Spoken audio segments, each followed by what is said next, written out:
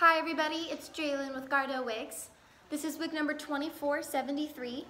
This is a Gardeaux wefted topper. It has a 9x9 base and a French top, and this is 12 inches from the crown.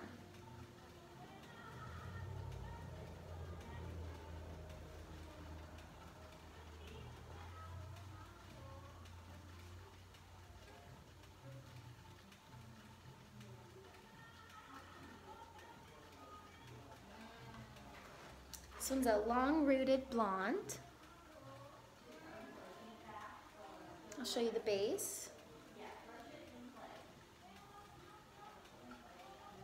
Okay, so there's the French top and the wefting throughout the back. It has clips all the way around.